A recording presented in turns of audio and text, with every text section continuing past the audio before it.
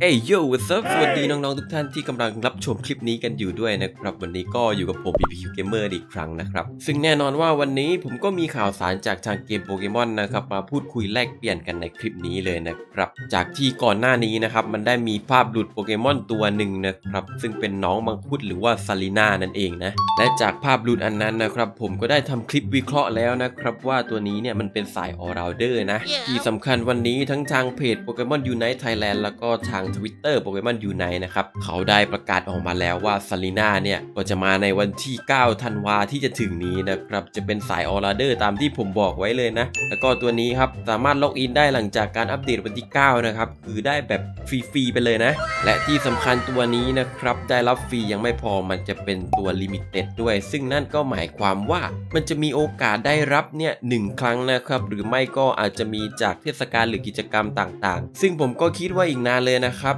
ที่ตัวนี้เนี่ยจะออกมาอีกครั้งนะ หรือไม่ก็อาจจะไม่มีโอกาสที่จะออกมาให้ทุกคนได้รับกันอีกเลยนะครับ เดี๋ยวเรามาดูโปเกมอนสาย All-Rounder หรือว่าสาย fighter ที่เปรียบเทียบกับเกมอื่นๆนะฮะว่าในเกม Pokémon UNITE เนี่ยมันจะมีกี่ตัวนะ นี่เลยครับสาย All-Rounder ตอนนี้ก็มีแค่ 4 ตัวเท่านั้นนะครับมี Charizard Lucario Machamp แล้วก็ Garchomp นะครับไอตัวที่เห็นคนเล่นบ่อยๆ เลยก็เป็น Lucario นะครับส่วนตัวอื่นๆเนี่ยจะเห็นบ้างประปราย เพราะว่าตัวมันไม่ได้ติด meta นั่นเองนะ แต่ยังมี Charizard แล้วก็ Garchomp นะครับที่ยังมีคนเล่นอยู่นะครับ ส่วน Machamp เนี่ย ส่วนน้อยมากนะครับ ที่จะเห็นคนเอามาเล่นใน rank นะครับ อ่าโอเคครับสำหรับใครที่ยังไม่ได้ดูคลิปของเจ้า Tsareena เนี่ย เดี๋ยวผมจะพาไปดูแล้วก็วิเคราะห์คลิปกันเลยนะครับ ว่ามันจะมี move อะไรกันบ้างนะ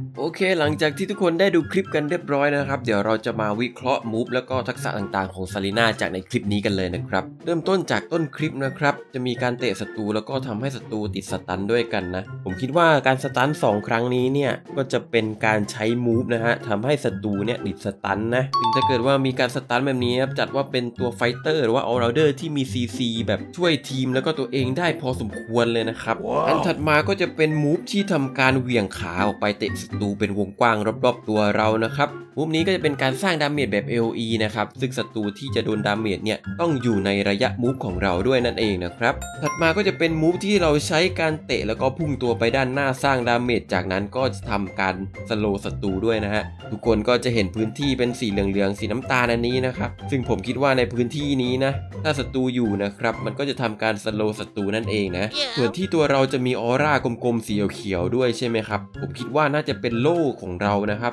ซึ่งตรงนี้ก็เป็นไปได้ว่าอาจจะเป็นโล่ป้องกันการโจมตี ATK หรือว่ากายภาพนะครับ หรือไม่ก็จะเป็นโล่ป้องกันสายเวทหรือว่า SP ATK นั่นเองนะ เป็นไปได้สองสายนะครับ ก็ต้องรอดูกันอีกทีนะครับผมต่อมาก็จะเป็นการดังทำแต้มนะครับซาลีน่าจะทำการชาร์จ จากนั้นก็จะกระโดดแล้วก็ถีบลูกบอลยัดลงห่วงไปนั่นเองนะ และ move สุดท้ายครับ ผมคิดว่าน่าจะเป็น Unite move อย่างแน่นอนนะ Tsareena เนี่ยจะทำการเตะศัตรูขึ้นไป 1 ตัวนะครับ จากนั้นก็ทำการเตะรัวๆนะครับ สร้าง damage บนอากาศ แล้วก็เตะศัตรูลงมาอีกครั้งหนึ่งนะ ผมคิดว่าท่านี้ก็น่าจะเป็นท่าแบบ sure hit นะครับ นั่นก็คือทำการล็อกศัตรู1ตัวเลยนะครับ ซึ่งจะไม่มีการพลาดเป้านะถ้าเกิดว่าศัตรูอยู่ในระยะก็จะโดนแบบเต็มๆ เน้นๆนั่นเองนะครับ และนี่ก็เป็นตัวอย่างของ Tsareena ที่ทางเพจเกม แล้วก็ทาง Twitter เนี่ยได้ประกาศออกมานะครับ และเป็นการวิเคราะห์ move ต่างๆของ Tsareena นะครับ โดยส่วนตัวของผมเองนะ แต่คาดว่าน่าจะไม่ผิดแปลกจากที่ผมได้วิเคราะห์ไปแล้วเนี่ยแหละครับ ทุกคนก็อย่าลืมนะครับ หลังจากอัปเดตวันที่ 9 ธันวาเนี่ยอย่าลืมกดเข้าไปรับตัวนี้ได้นะครับ ซึ่งตอนนี้ก็ยังไม่ชัวร์ว่าจะต้อง login 7 วันหลังจากการอัปเดตหรือเปล่า หรือว่าเราสามารถ login เข้าไปรับตัวนี้ได้เลยนะครับ ก็ต้องรอติดตามดูกันต่อไปนะ เช่นเคยครับถ้าหากว่าชอบคลิปนี้ก็อย่าลืมกดไลค์กดแชร์ให้ผมด้วยนะครับและถ้าหากทุกคนไม่อยากพลาดข่าวสารดีๆจากเกม Pokémon UNITE เนี่ยก็อย่าลืมกด subscribe แล้วก็กระดิ่งติดตามเป็นกำลังใจให้ผมด้วยนะครับ คลิปนี้ผมก็ต้องขอตัวลากันไปก่อนแล้วพบกันใหม่คลิปหน้านะครับ คัด